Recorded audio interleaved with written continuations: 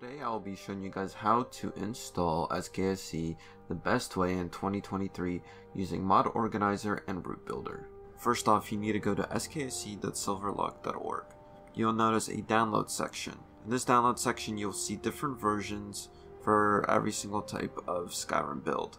You can see that the two main builds is Anniversary or Special Edition. If you don't know which version to choose, and you're running the latest version of Skyrim installed on Steam, then you're going to want to choose the current Anniversary Edition build 2.2.3 and download this file. If you know what you're doing and you want to downgrade your game, you can choose the Special Edition build. I will be going with the current Anniversary Edition build because this is the latest build on Steam even if you do not own Anniversary Edition content. So click download 7-zip file. The next thing we'll be installing is called Root Builder for MO2. Now before you click off, because this is not like your standard tutorial for SKSE or this might be a little daunting, this is a very good plugin for keeping your files clean and it's a super easy install. What Root Builder does essentially is allow you to manage certain files that you were not able to do in standard MO2. These files are ENB, ENB presets, SKSE. This is really good because it allows you to keep your base Skyrim folder clean and anytime you want to say downgrade your game, you don't need to reinstall SKSE, Instead, you could have two versions, one disabled and one enabled for your certain profiles. Now to install Root Builder, we're going to go to Files, Manual Download, and do the slow download. Next, we want to open Mod Organizer. Once you open Mod Organizer 2, you're going to want to go to the file icon, click Open MO2 Plugin Folder. From here, you're going to want to open here, and you're going to want to open the Root Builder zip file that we download.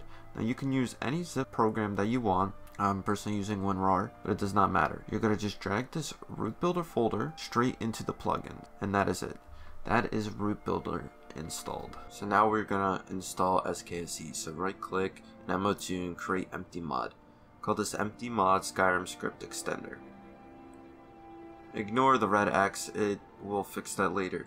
Next up, open an explorer and then in here we're gonna have to create a folder called root. This is part of root builder. Now open up the SKSE zip file and use open with whatever program. Go inside and you can see that there's a lot of files in here but we'll go slowly. First off open up data folder and drag the scripts folder into the Skyrim script extender folder. Next up go back to the zip file and you'll notice a loader.exe and a DLL file. Those are the other two files that we'll need. These files will need to be placed inside the root folder so place them into your root folder. Now that you've placed them inside this root folder, you're going to either want to remember this directory or you can copy and paste it if you're in Windows 10. So I copy and paste this. This is going to be important for what we're about to do. Next up, where the executable for Skyrim Special Edition and Mod Organizer, you want to click in there. You want to go to Edit. From here, you're going to want to add from File. And we want to find the SKSE loader. Since we copy and pasted it, we can go directly to the directory and click SKSE loader. You're going to want to open that and you're going to want to rename this Skyrim script extender. You can name it whatever you want, but this is just a good way to remember. I like to increase the priority, well, like in the list, so it's number one. And from here, what we have to do next is enable Skyrim script extender and right click and ignore missing data. Now that you've done this, you can now launch the game and see whether it works. Now before you do anything I would recommend restarting MO2 and once MO2 has restarted I would make sure your selection is Skyrim Script Extender and run it. You will always have to run this whenever you are using SKSE mods. Now that we load it into the game, all we have to do is open up the console. That is opened with the tilde key, which you can see on screen. And what you're going to want to type in the console is SKSE a version should pop up. And if a version pops up, that means you have installed it correctly. And there you go, you have successfully installed SKSE. Now, if you guys want me to make more tutorials on how to install ENB presets using Root Builder, then I would be glad.